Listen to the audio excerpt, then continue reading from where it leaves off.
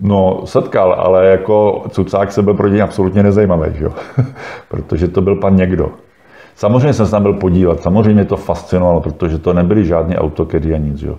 Tam byly obrovské rysovací story, že jo, ty desky, na tom byly klasické pravítka, tam se kreslily ty karoserie, ty řezy, třeba ty dveře, tak eh, měl jste nárys a ten bokorys byl udělaný do toho nárysu, což bylo samo o sobě už jenom ty křivky, to si budu pamatovat do smrti, že mě to tak jako fascinovalo, protože to už jsem chodil na průmyslovku, měl jsem nějaký technický kreslení, vůbec jsem si nepředstavil, bych tohle to nakreslil, že jo. A bylo to zajímavé, jak ty, co tam ty chlapi vymýšleli, jak to dělali a kamarád to byla živý, živá legenda. Jako. To prostě to byl takový starý pán, který jsem potkal, tehdy to připadá, nevím, kolik mu bylo, možná byl mladší než já teď, jo, ale tehdy mě připadal pro to cápka starý. A samozřejmě, jako, že bych byl pro něj zajímavý, co by si se mnou povídal, že jako. ale samozřejmě jako, jsem tam seděl a poslouchali se s tím tátou náhodou bavili, nebo to, že jo, to, to bylo něco, prostě to byla legenda. To byla opravdu, a to byl člověk s fantastickýma nápadama. Opravdu velmi schopný. Tož mimochodem Česaná trošku žádila, ale tohle to oceňovali, že on ty nápady měl, protože oni zkoušeli i různé přestavby. Oni s těma autama, tam, tam, ten vývoj byl natolik schopný, že oni s nimi dokázali dělat právě různé psíkusy, přestavovat některé varianty, modely. Jo. Já jsem třeba jako kluk taky viděl MBčko v kombiku klasický 1000 MB v kombi s ležatým boxérem. Boleslavi jste mohl běžně potkat, tam běžně ty auta jezdili. Že? Vypadalo to srandovně teda. Viděl jsem MBčko tisícovku v kabrioletu. Taky tam soused tam dělal v Česaně, tak to občas stalo před barákem, jak jsme to jako kluci obcházeli. Že? Ale ty karoserie byly mimořádně křehké, ty byly hodně nestabilní. Taky se tradovalo, že Erko je nebezpečné auto. To není pravda, protože Samozřejmě stovka měla podstatně širší sloupek vzadu, ale ten Erkovej byl pevně pevnější, ten při žádné narazové zkoušce neprask, což se o stovce nedá říct, ty první praskaly. Takže to auto sice vypadalo šíleně subtilně, ale bylo dost pevný, jako opravdu dobrý. Mimochodem, když jsme o tomhle bavíme, tak eh, když jsem jako kluk chodil malý do školy, že to jsem vlastně poprvé, když táta byl v automobilce, tak jsme jeli prvomájovým průvodu v Tisícovce, tak tehdy jich bylo prvních asi 20 v tom průvodu. A táta nám zařídil, že nás jako malí klukciky, já jsem byl myslím v druhé třídě a brácha ještě ve školce, tak nás posadil na zadní sedadla a v tyhle tý, těch funglnových autech jsme se svezli, to byl fakt nějaký rok 64. Jo. Ale Eh, tak tam stál prototyp, takový zajímavý hybrid. Pak jsem viděl fotky, že to byl, to byl takový krátký předek, delší zadek, jo. volant to mělo ještě z Octavie. Prostě tyhle ty prototypy se pak prodávaly, někdo si ho tam koupil a stál tam o dvě ulice dál před barákem, jak to tehdy tak bývalo. Tak jsme tam jako okukali. Docela mě zajímalo, kde to auto skončilo. Jo. To zase byla ta výhoda, že v té Boleslavi člověk jako potkal těch aut strašně moc. Jo tam jako se s tím přece jenom jezdilo, takže jsme je tam mohli na těch ulicích potkat, mohli jsme je vidět, nebo když tím někde ty chlapi zastavili, takže jsme se s nimi seznámili. Že? Tam, kam, tam jsem poprvé viděl to tmavo-červený Erko, to byl tuším druhý prototyp, oni byli postaveni tři. A pak jsme se v něm i svezli a pak ho teda ten zkušební jezdec rozstřelil.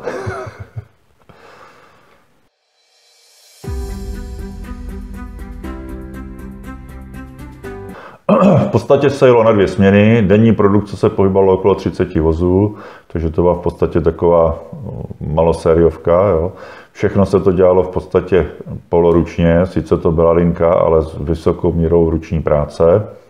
Vlastně, když jsem to poprvé viděl, tak to bylo ještě, když se tam dělali karoserie ve staré svařovně.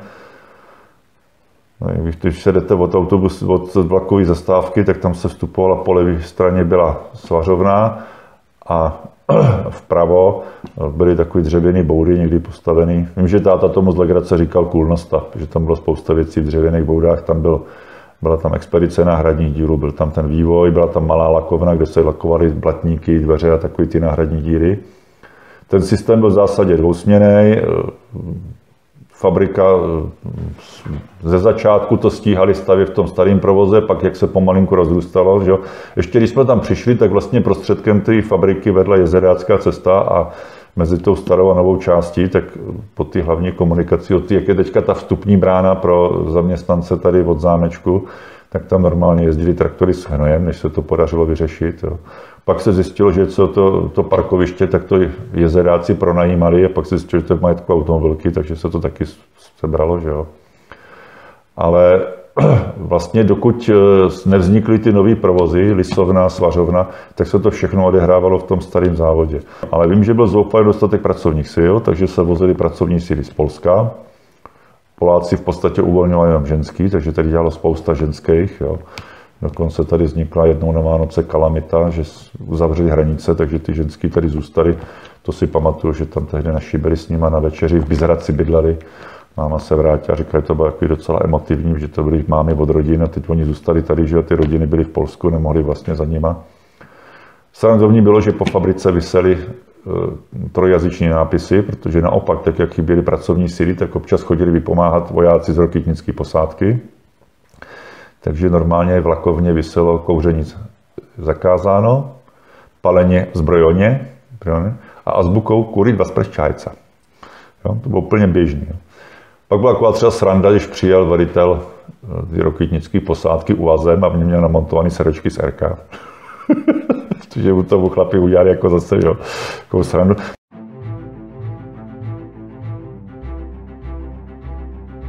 Sehnat Erko doma byl problém, protože ty auta prakticky všechny šly na export. Že? Jo, to jako, tam byla zase taková zvláštnost, že ředitel závodu až do konce, až do roku 90 měl možnost, a teď abych nekecal, si pět nebo šest aut za rok jako rozhodnout, kdo si je koupí. Jo. A o to byl šílený boj. Takže to zase tu byl Jirka Šidivý, když jsem scháněl 136, tak mě zavolali z mototechny, tehdy jsem to od Jirky dostal, že díky známosti, že jo, jsme se znali léta. To. Volali mě z mototechny v Pardubicích, že tam mám 136, tak jsem si tam, vůbec jsem netušil, jestli jakou bude barvu, jakou výbavu. Jestli prostě máte tam auto, přijďte si pro ně, musel jsem ně čekat tedy asi 4 nebo 5 měsíců. Přijel jsem tam a tam byl na, na čelním sklepě napsaný velikým písmem Radocha. to bylo auto pro mě, jako. Nestěl nikomu jinému prodat. Jo, to byla jako taková sranda. Ale on to měl jako víceméně zase v rámci nějakých dobrých stavů, prostě měl právo rozhodnout, kdo ten auták dostane z tí.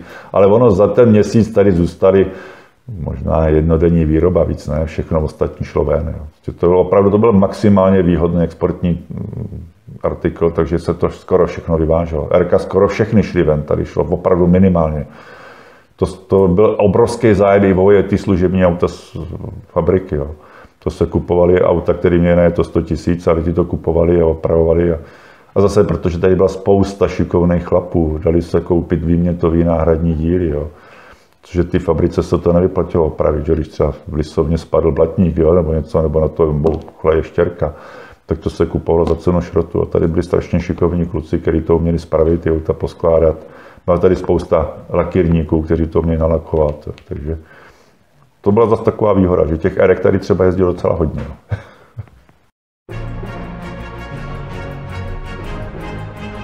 Každý klub chtěl jezdit rally, jo. Já jsem se tam, díky teda, to byla jedna z těch možností, že jsem byl vlastně trošku protekční, takže jsem chodil k klukům do dílny, že jo, k Jirkovi Šedivýmu. Já jsem teda víc dělal se starým zeleným a ten dělal pro Sváťu, takový jako, eh, Frantu Udlinka, sorry, Frantu Udlinka. Takže jsme tam chodil, já pomáhal jsem, že jo, co jsem tak jako te, s tou svojí zručností a tehdejší znalostí stihl, zvládl. Jo. No, to se šlo tak, že se šel vlastně na ranní směnu, pak jsem šel dolů, tam jsem se převlík a do desíti jsem bouchal v dílně, šel, šel jsem vlak motorákem domů, vyspal jsem se a ráno jsem šel na směnu. Tak, ale takhle těch kluci to dělali takhle všichni. Jo. No a tehdy samozřejmě všichni chtěli jezdit rally. Jo. Ale to nebylo jako dneska, že si koupíte auto, přihlásíte se a jdete jezdit. Tehdy podle tehdejších pravidel jste se musel být členem svazarmu, musel jste si požádat o licenci, takže jsem musel do Čína na školení, tam jsem dostal kompletní školení z řádu, musel jsem složit zkoušku, dostal jsem trojkovou licenci, což bylo pro oblastní závody.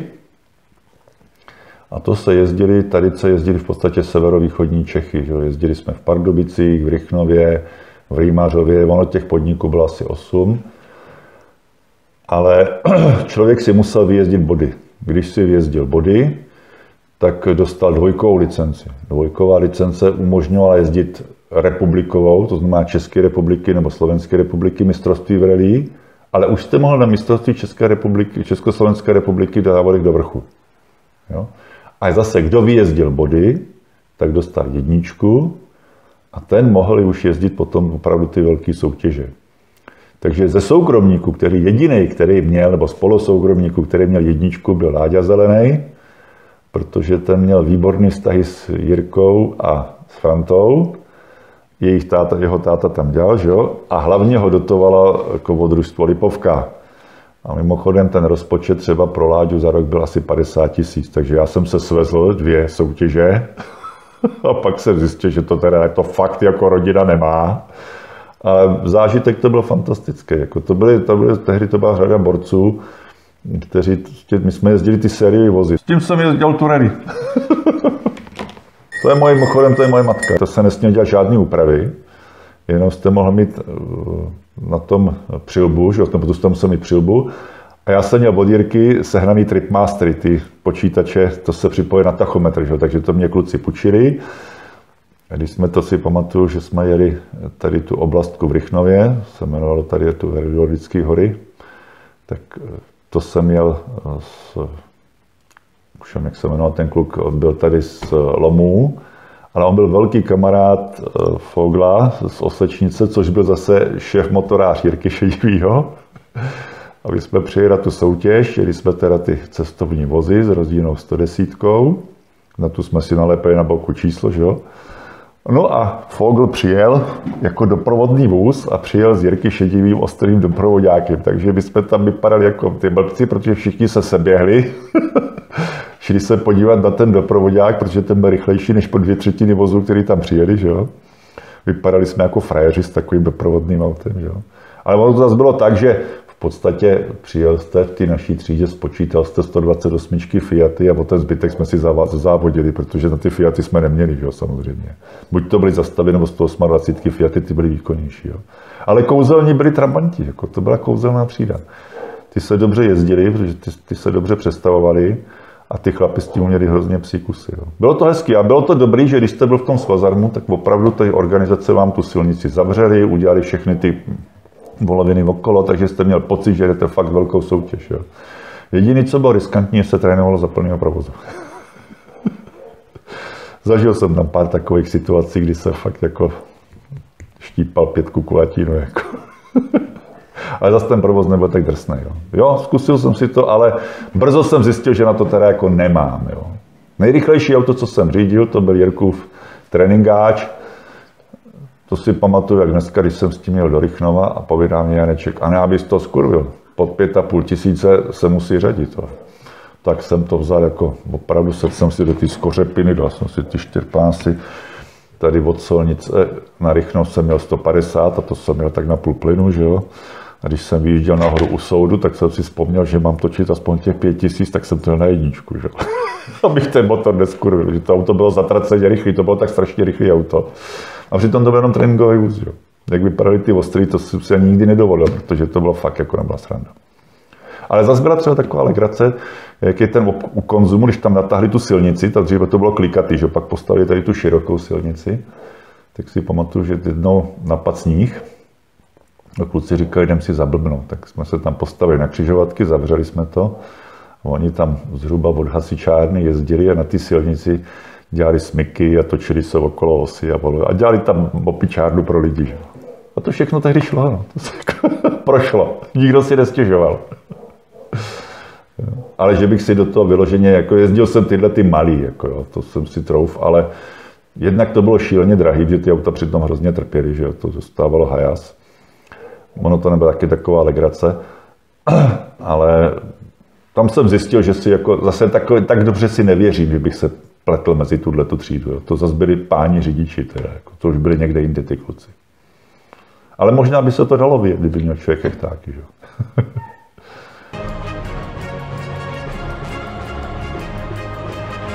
No, úpravy se nesměly dělat, že ale když jsem se teda chystal na tu první rally v Pardubicích ve Svítkově, tak jsme to chystali se starým zeleným, takže jsme sundali hlavu. Naproti jak je ten obchod na rohu, tak tam vedle byla nástrojárna, tak tam starý skočil tam byly frézky, tak nám lízli hlavu. Pak jsme šli do skladu, změřili jsme asi 15 těsnění pod hlavu, vybrali jsme to nejtenčí, že jo. Provedli takový drobný úpravy, aby nás ty komisaři nechytili, že jo. Ale ono to ku podivu i fungovalo, jako. ono to i dávalo. Už jenom třeba taková ta blbost, že jsme měli ty tripmastery tam přimontované, to strašně pomáhalo, jo. Když jako přece nepojede s tím volantem, ty vole, Jirka šel do toho.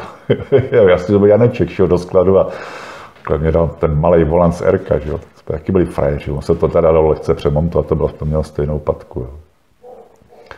Ale jako zase jsme museli upilovat páčky na těch blinkrech, že jo? takže to potom byl problém, co s tím, že jo? to se nedalo tak lehce sehnat, to mototechně nebyly díry. Že jo? no táta nebyl zase tak úplně nadšený, když jsme tyhle věci váděli. to bylo jedno auto v rodině a to se muselo hlídat. Že? To nebyla sranda. No. no tak ono, to byla Škoda 100, s kterou jezdil, to se koupil jako vojetý z automobilky a nějaká baba koupila Erko a po 800 km zadržela motor. Tak po nějaký hádce ho vyměnili a chlapi si tohleto auto dali dohromady a ty kluci, co dělali tu technickou kontrolu, tak řešili ty zakázky, tak jeden z nich byl Pepův praděda, vynikající mechanik, druhý byl nějaký Zdenek Špecečku, jeho tatínek byl osobní šofér starého Janečka, který mu ta automobilka patřila, tak oni ten motor přeskládali, No a tak to byl Erkový motor v tom, takže to byl vlastně jakoby 110, ale ještě lepší, protože to bylo 110 stovka a ono to vypadalo strašně srandovně, protože to auto bylo ze spor, standardně Škoda 100 standard, akorát ještě reflektorová maska a vzadu tenhle ten motor. Že? A ještě cedula na vrchu byla Škoda 100, prostě tím se ty kluci nenamáhali. No když jsme s tím někam vyrazili, tak to byla hrozná legrace, protože nikdo nevěří, že to auto jezdí tak rychle. Mimochodem ten motor takhle vydržel 150 tisíc kilometrů, a neskončil tím, že by se zadřel. Že to auto potom, já jsem našel pak nechali bráchovi, brácho s ním jezdil v Plzni, pak ho prodal nějakému klukovi a ten si v něm rozbil hubu, protože jel moc rychle. A to auto fakt jako 150 tisíc vydrželo úplně bez problémů. I když to byly takový finty, že jo. Když se zapíkali kroužky na čtvrtým válci, začalo to brát volej, tak přišel starý zelený a říká, hele, to nebudeme rozhazovat, pojedeš k a na 20 litrů benzínu tam dáš 4 litry nafty. A musíš s tím udělat nějakou další štreku. A pak vyměníme volej a bude to. Tak já jsem měl tady, to byla v Lipovce pumpa, jak je tam teďka to skladiště aut. Tehdy to, v podstatě tam nikdo nestál, že? Takže jsem nabral 20 litrů benzínu a říkám, ještě si vezmu naftu. Pař na mě koukal, to byl jak v té zlatý zlatý podkovy, že ještě chodil s tou šrajtofle, tak jsem se potáhl o stojan dopředu, že to není jako dneska, to byl každý stojan na každý palivo. A teď jsem do té Škodovky dal tu naftu a přijel nějaký borec s Žigulíkem a to taky nezapomenu. Ten na mě vytřeštil oči, vůbec to nechápal, co se děje. Jo. No a jak jsme tam dali ty 4 litry nafty, já jsem s tím udělal cestu na Moravu a zpátky, hulilo to jak lokomotiva, blbě to startovalo, volej byl jako lomas, ale místo 800 eh, km na litr oleje jsme rázem udělali 1200. Jo. Takže se to dvakrát zopakovalo a žádné kroužky se nedělaly. Do konce existence toho motoru se to vždycky takhle protáhlo a bylo to. To by takový finty, že? To by taky dneska nešlo s těmi vedle motorama. Jo, taky jsem líznul pokutu, jsem se vracel z Prahy. V Lovčicích na návsi mě naměřili 110 za hodinu. Že jo. Jsme se honili s Mercedesem a přehlídli jsme vesnici, tak jsem dostal díru do kupónu a 100 korun pokuty. Ale taky jsem se starým zeleným jsme do Prahy, tak nebyla žádná dálnice, jako opravdu postarej si, jo, jako ty od klasický automobilky od brány za 2 hodiny 20 jsme byli na staroměstském náměstí. Ty pamatuju, jak dneska jsme pěli to Prahu a starý mě říká, drž to, nepouštěj ho, nám to ve fabrice opravěj, bude, tam se podělá, neboj se, jeď. Jsme ty Pražáky tam dusili. byla hrozná škola. On měl jako skotskou čepici, teď měl bambuli, to auto nemělo bezpečnostní pásy, tam mělo to 160 za hodinu, že jo. A teď se s tím jezdil na plnou klapku, že to nebylo omezený, takže ty, všechny ty roviny prostě naplno. Bylo jedno, jako to, to sežere. Jednou si jel, jeli tady od Kopičáku, jsme vraceli a starý, jak seděl vedle mě, jsem říkal, starý za starým zelenýmu, a Povídá, Jirka jede a než to dopojí, to bzink, my jsme 160, tam Jirka 180 proti. Byla fakt jako kouzelný časy. To se ještě dalo opravdu zajezdit. Ty silnice byly v noci prázdné. Se mi podařilo udělat na trase 190 km z Moravy sem, rychlostní průměr 1,90 za hodinu. Takže po 22. hodině se nemusel dodržovat 50 ve vesnicích. To se jezdilo naplno, že? To, byly, to už se nevrátí tyhle časy. No.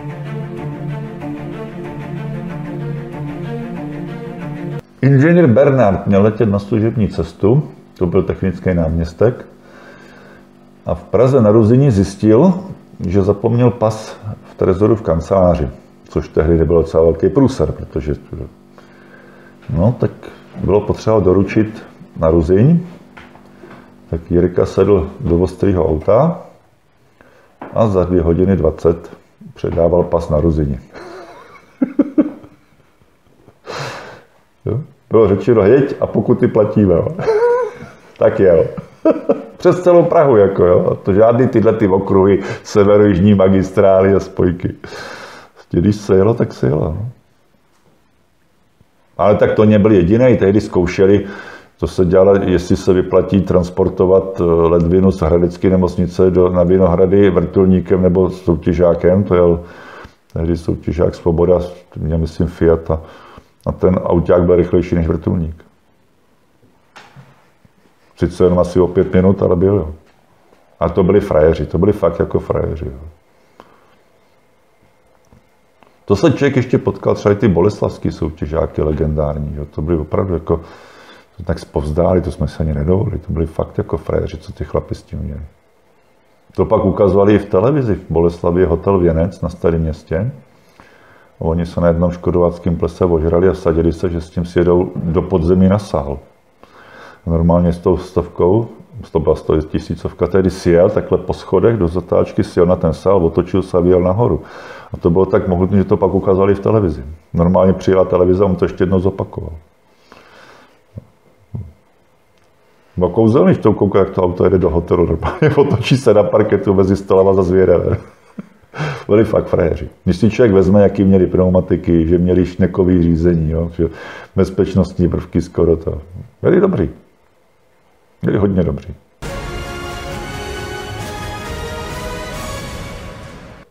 Dá.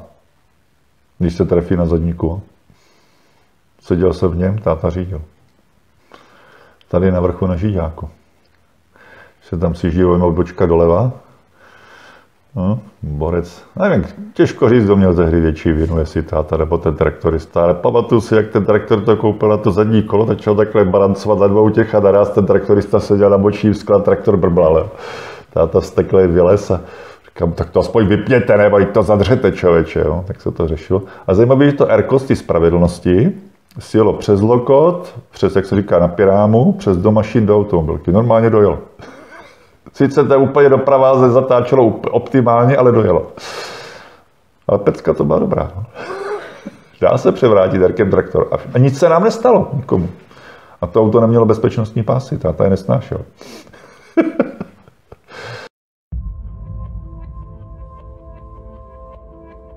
jo, mělo červený čísla.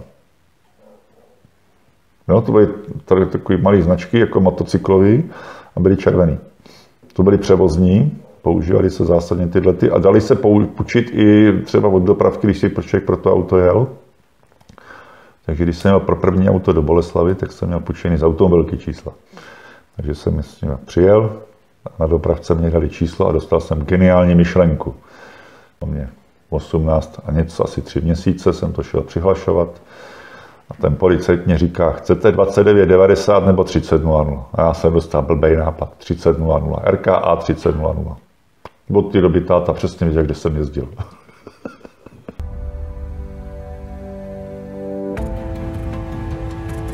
Tady odsaď už se vozili na vagonech. Z Boleslavy ještě, když se vozili auta. Jeden čas se přepravovali, to bylo, uh, to byl 69. rok, to měl táta služebáky 11 stovku MBčko. To si pamatuju, taky to byla taky dobrá scéna, on to nesnášel, tyhle ty frajery. A oni to vozili po ose. No, normálně přijeli automolky, třeba 10 chlapů, vzali ty auta a vezli až na Slovensko. A pamatuju si tady u Sobotky, byl úplně rozběsněný, to stará, ta stará za ním valil, aby ho dohnal, protože ten úplně nový syrový auto, tehdy se to složitě zajíždělo, že to nebyla alegrace. A on se za ním hnal, zastavil ho, popsal si papír a říká, a garantuju vám, že vy už si nezajezdíte. tak ten už se teda pro auto nikdy do automobilky nejel. A ty se připravili po ose, no.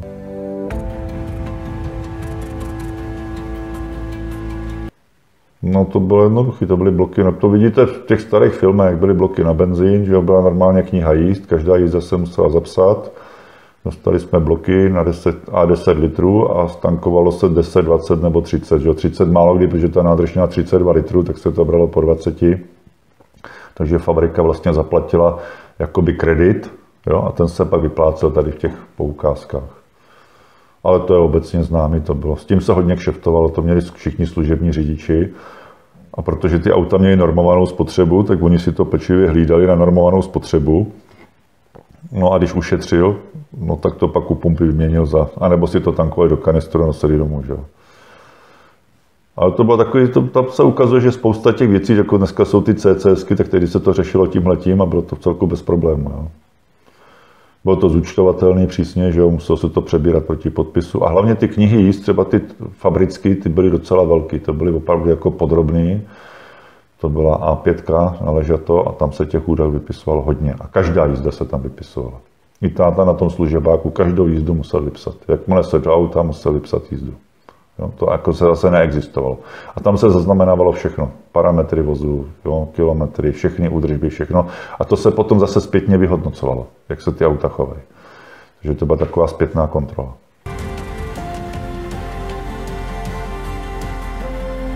No jak kdo, že jo, táta to byl autář, původem voják, tak ten, když ráno odjížděl od baráku, tak byla hrozná legrace, protože on přišel k autu a dělal takzvanou KTS, že jo, kontrolu technického stavu. Si otevřel motor, kapotu, že jo, dotáh štauferku v obrátku, zkontroloval volej, podíval se, jestli má dostatek vody a bez toho v životě neodjel od baráku. Jo. Ale taky tyho auta byly vyhlášeny tím, že byly velmi kvalitně zajetý. Jako on si to zase hlídal.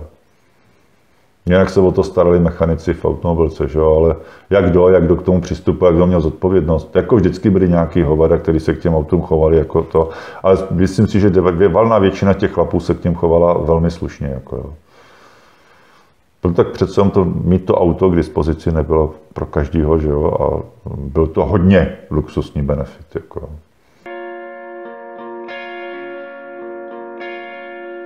S Udlasem jsem nejel, s Jirkou jsem jel, No a myslím si, že jsem byl podobně zelený, jak ten svozák, akorát já jsem to teda jako dodával levo, ale on taky se mnou nejel tak naplno, že jo.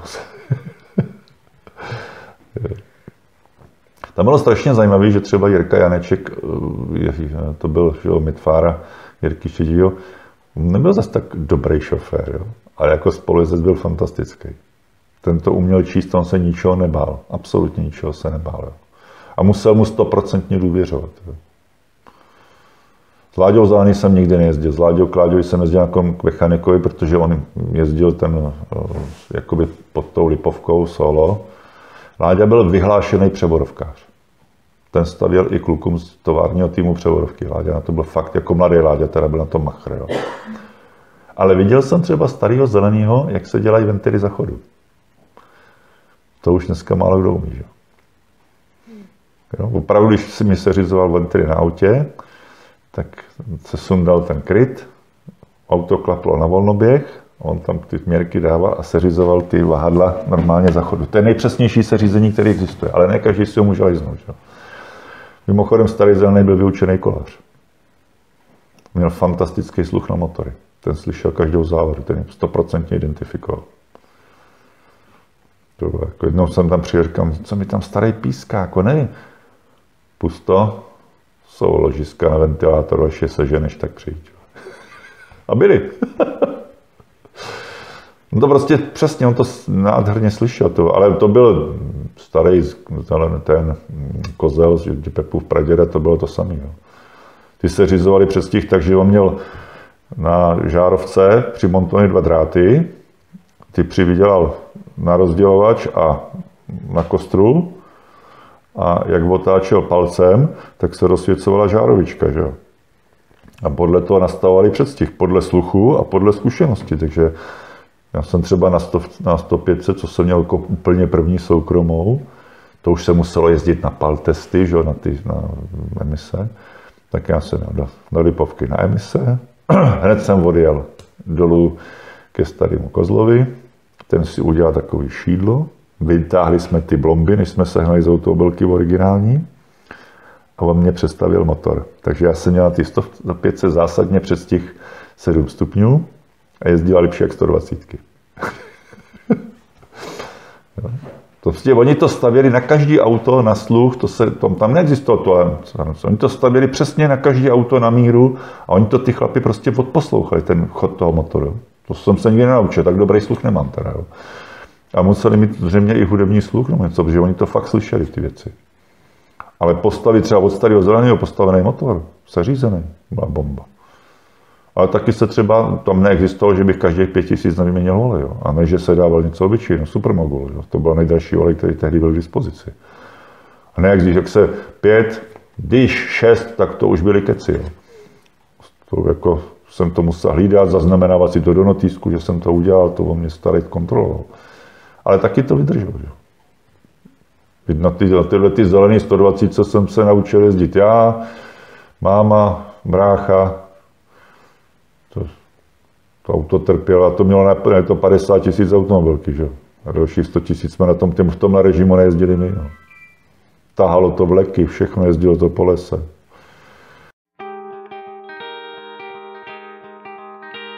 Jako ty auta máme pod kůži všichni, že jo? To je jako, ty máme rádi všichni ty auta.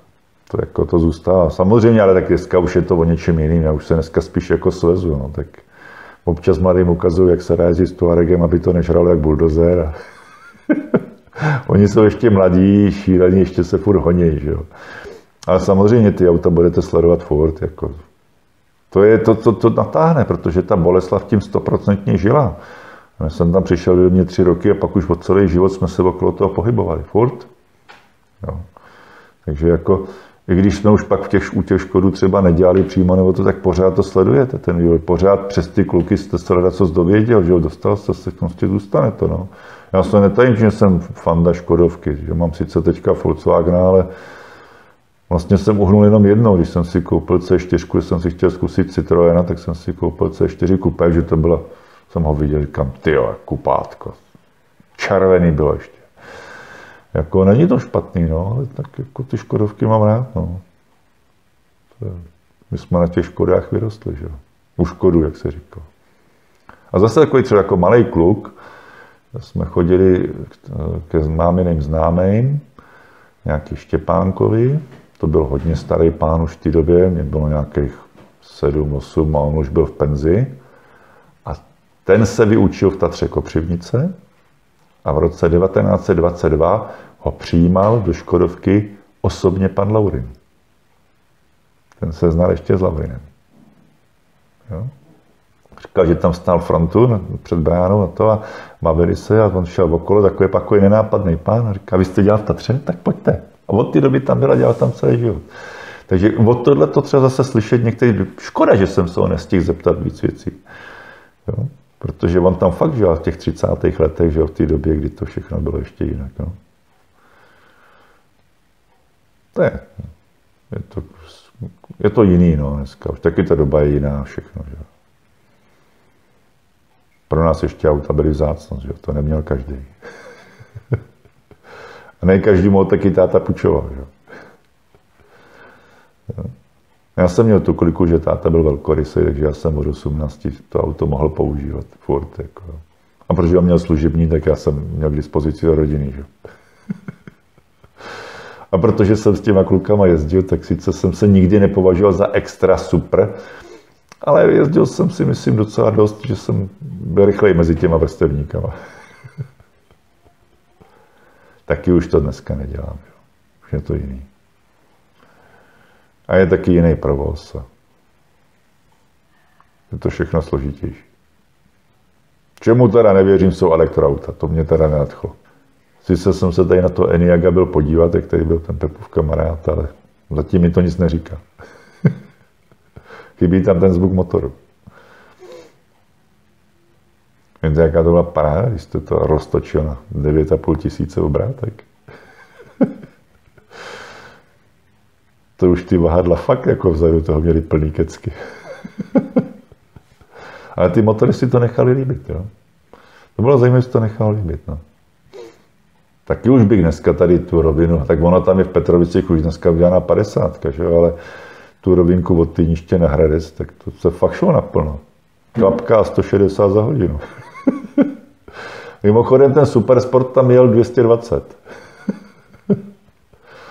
A přitom tam je to silnice smrti, že tam bylo pár těžkých havárek. Tam, když se vytne do toho lesa, tak tam se to občas jako namrzalo, tam to namilo, tam bylo pár těžkých smrťáků. A to byly jiný časy. Jo. Nebyl tak silný provoz. Dalo se to ještě.